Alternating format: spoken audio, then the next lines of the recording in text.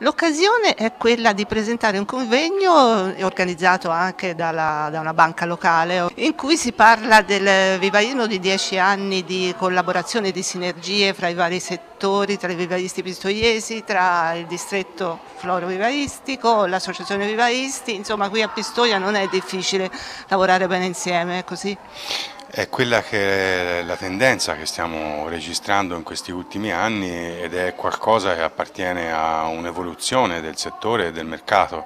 È inutile continuare a essere delle aziende che operano in maniera assolutamente solitaria quando abbiamo avuto da dieci anni la, la mostra che è stata inaugurata eh, poche ore fa e la dimostrazione un, ehm, un meccanismo per raccogliere il vivaismo e promuoverlo nel mondo come è stato Vestire il paesaggio, come lo è tuttora, un'iniziativa della provincia di Pistoia voluta dall'ex presidente ehm, Venturi e da Renato Ferretti, Ilaria Bonanno e tutto dello staff eh, ha portato l'immagine del vivaismo del mondo e al tempo stesso ha favorito un'aggregazione e un dialogo fra le parti. Poi la nascita stessa del distretto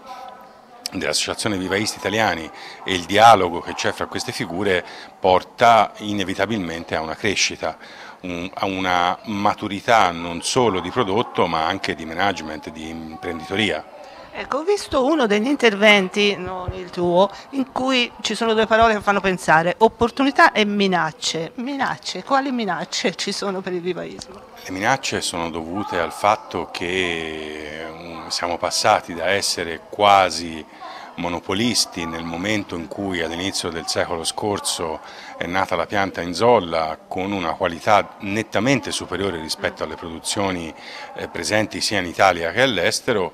adesso la coltivazione in contenitore e una diffusione molto più veloce del know-how grazie anche a internet hanno portato alcuni paesi a sviluppare delle attività vivaistiche che possono competere con Pistoia. Questo è il pericolo. Eh, da questo pericolo nasce l'esigenza di aumentare il dialogo fra le parti per finalizzarlo anche a ottenere un, una serie di iniziative, una serie di attenzioni e anche una serie di studi che ci possano permettere di eh, continuare ad avere non solo un prodotto di alta qualità ma anche una riconoscibilità del territorio perché Pistoia è in Toscana, Toscana è una delle parole più cercate nel mondo sui sistemi informatici, di conseguenza per noi è un grandissimo valore aggiunto che dobbiamo iniziare a abbinare al nostro prodotto. Ho notato nel comunicato stampa della banca che le interviste da loro realizzate online in un campione di aziende vivaistiche hanno verificato che la cosa più importante, o perlomeno quella che la per la maggioranza delle aziende più importante, è la qualità della pianta, l'azienda familiare, meno il marketing e la pubblicità in senso lato. Come mai? Perché il campione è un campione riferito a, a, diciamo sulla realtà del distretto è riferito a medie e piccole imprese, anche parlavano di un campione dove per grandi intendevano aziende che fatturano più di un milione e mezzo mm. di, di euro all'anno.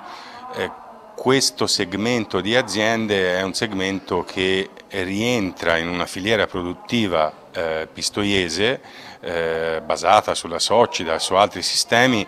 per cui il marketing è difficile come orientamento perché il principale cliente è il mercato stesso distrettuale mentre eh, alcune di queste aziende invece, come si è visto, una piccola percentuale, ma neanche tanto piccola, sono interessate ad ampliare la propria gamma di servizi e di prodotti e quindi eh, cominciano a interessarsi anche a un marketing. Per finire una domanda mia personale, nel Prego. senso che mi è venuta in mente ascoltando già da tanti anni i vivaisti parlando con loro. Io credo che per fare vivaista bisogna per forza amare le piante, per certi altri magari, lavori magari non è strettamente necessario amare il prodotto eh, che, che, si lavora, che si, in questo caso che si coltiva. È così? È fondamentale, cioè, questo è un lavoro che se non viene fatto con passione non può essere fatto. Moltissimi lavori oggi richiedono una passione innata per essere portati avanti perché eh, ci vuole fiducia, bisogna crederci e soprattutto ci vuole molta pazienza. Oggi siamo abituati con eh, l'informatica, con internet ad avere tutto subito, per avere alcune piante non bastano 15 anni e quindi se non c'è una grande passione dietro è difficile poter fare questo mestiere.